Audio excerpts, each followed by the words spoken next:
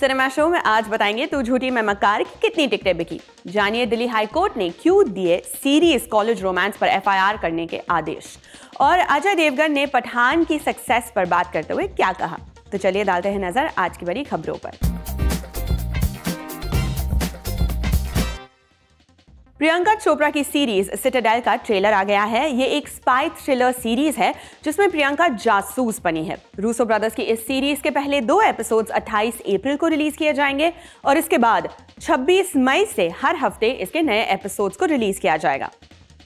Soni live की मशहूर web series rocket boys के दूसरे सीज़न का ट्रेलर आ गया है। ट्रेलर में पूर्व प्रधानमंत्री जवाहरलाल नेहरू की मृत्यु के बाद का समय दिखाया गया है। सीरीज़ में जिम सर्ब और इशवाक सिंह भी दिख रहे हैं और इसे 16 मार्च से देखा जा सकेगा। अजय देवगन की अपकमिंग फ़िल्म भोला का कल ट्रेलर लॉन्च हुआ था। इसी लॉन्च इवेंट के मौके पर अजय ने शाहरुख की पठान की सक्सेस पर बात की। इवेंट में अजय ने कहा, हमने अभी देखा कि पठान ने कितना अच्छा और एक्स्ट्रा बिज़नेस किया। बस आशा है कि आने वाली सारी फ़िल्में ऐसा ही बिज़नेस करें। और भोला अभी आने वाली है, वो भी ऐसा ही परफॉर्म करे। भोला 30 मार्च को रिलीज़ के लिए स्केड्यूल्ड है। राजकुमार राव और भूमि पेडनेकर की फ़िल्म भीड़ का दूसरा टीजर आया है। लॉकडाउन पर बनी इस फ़िल्म को अनुभव सिन्हा डायरेक्ट कर रहे हैं। टीजर में राजकुमार दमदार डायलॉग बोलते दिख रहे हैं। मूवी में आशुतोष राणा, कृतिका कामरा, दिया मिर्ज़ा और पंकज कपूर जैसे एक्टर्स दिखेंगे। फ़िल्म 24 मार्च 2023 को रिलीज़ होगी। ममूटी की फ़िल्म क्रिस्टोफर थिएटर्स के बाद अब ओ टी प्लेटफॉर्म पर रिलीज़ होने वाली है। इसे 9 मार्च से Amazon प्राइम वीडियो पर देख सकेंगे। दिल्ली हाई कोर्ट ने ओटीटी प्लेटफॉर्म टीवीएफ की सीरीज़ कॉलेज रोमांस पर एफआईआर करने का आदेश दिया है। कोर्ट ने आरोप लगाया है कि सीरीज़ की भाषा आपत्तिजनक और अश्लील है, जिसे देख और सुनकर आज के यंगस्टर्स के दिमाग पर खराब प्रभाव पड़ेगा। जस्टिस स्वराना कांता शर्मा का कहना है कि इस सीरीज़ की भाषा इतनी खराब है कि उन्हें ईयरफोन्स लगाकर इस सीरीज़ को देखना पड़ा। पार रंजित की फ़िल्म सरपटा परमराई के दूसरे पार्ट की अनाउंसमेंट हो गई है। इस फ़िल्म का नाम होगा सरपटा परमराई राउंड टू इस बॉक्सिंग ड्रामा में एक्टर आर्या दिखाई देंगे और फ़िल्म में 1970 के समय की कहानी को दिखाया जाएगा। जल्द ही इसकी रिलीज़ डेट भी अनाउंस हो जाएगी। रणबीर कपूर ने बताया कि वो संदीप रेड्डी वांगा की फ़िल्म एनिमल के बाद छह महीने का ब्रेक लेंगे। यानी आने वाले छह महीने तक वो किसी भी फ़िल्म या प्रोजेक्ट को साइन नहीं करेंगे। पिंक फिला से बात करते हुए रणबीर कपूर ने कहा कि वो अभी पिता बने हैं और वो अपनी बेटी के साथ कुछ समय बिताना चाहते हैं। रणबीर कपूर और श्रद्धा कपूर की फ़िल्म तू झूठी मैं मक्कार 8 मार्च को रिलीज़ होने वाली है। मगर रिलीज़ से पहले फ़िल्म की एडवांस टिकट धड़ल्ले से बिक रही है।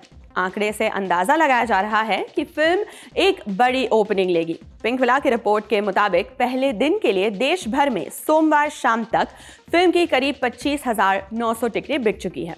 अभी भी रिलीज़ में एक दिन बचा हुआ है तो ये आंकड़ा अभी और बढ़ सकता है। अगर ऐसा होता है तो फ़िल्म पहले दिन करीब 15 से 20 करोड़ की ओपनिंग ले सकती है।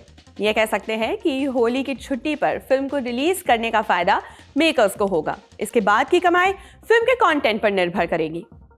ऋतिक रोशन और दीपिका पाडुकोन जल्द ही फ़िल्म फाइटर में नज़र आने वाले हैं, जिसकी शूटिंग इन दिनों चल रही है। ऋतिक ने फाइटर के क्रू मेंबर्स के साथ तस्वीर शेयर करके बताया कि उन्होंने शूटिंग का स्केड्यूल रैप कर लिया है।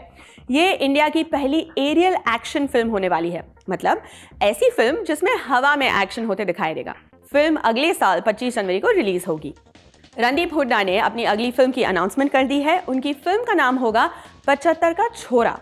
मूवी में उनके साथ नीना गुप्ता, गुलशन ग्रोवर और संजय मिश्रा भी नज़र आएँगे। कहानी पचहत्तर साल के एक यंग आदमी की होगी। सिद्धार्थ मल्होत्रा और कियारा अडवाणी शेर शाह फ़िल्म में साथ दिखाई दिए थे। अब खबर आ रही है कि दोनों एक बार फिर से स्क्रीन शेयर करेंगे।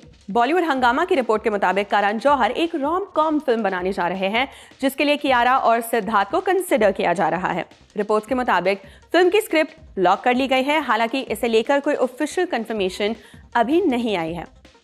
तू झूठी मैं मक्कार के प्रमोशनल इवेंट में जब रणबीर से ब्रह्मास्त्र 2 पर बात किया गया तो उन्होंने बताया कि इस वक्त अयान मुखर्जी इसकी स्क्रिप्टिंग कर रहे हैं।